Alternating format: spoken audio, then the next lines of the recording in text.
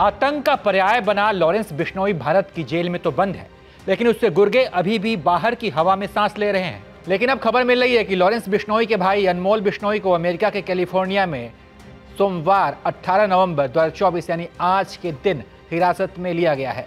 पिछले महीने भारत सरकार ने गैर जमानती धारा के तहत वारंट जारी किया था।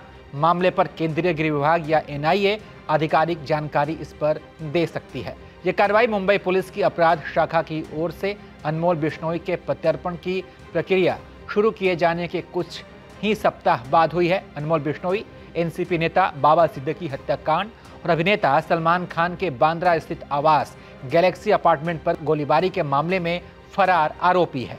अनमोल बिश्नोई की तस्वीर आपको दिखा रहे हैं।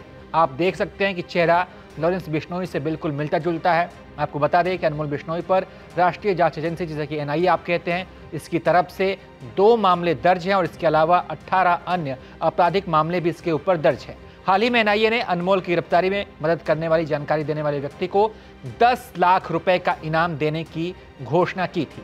एनआईए ने लोगों से अनमोल बिश्नोई के ठिकाने के बारे में कोई भी जानकारी देने की गुजारिश की है, लेकिन अभी तक गैंगस्टर अनमोल उसकी पहुँच से बाहर है। उसका आपराधिक नेटवर्क लगातार सक्रिय रहता है, जिसकी वजह से भारत के मोस्ट वांटेड लोगों में से अनमोल बिश्नोई शामिल है और अब जो है अनमोल बिश्नोई को अमेरिका में हिरासत में लिया गया है। अनमोल बिश्नोई ने अपराध की दुनिया में अपने भाई लॉरेंस के नक्शे कदम पर एंट्री ली है।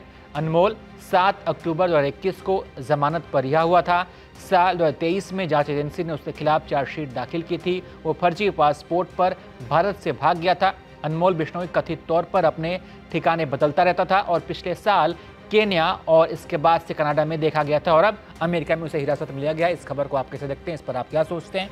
अपनी राय कमेंट कर बताइए और देखते रहिए एबीपी लाइव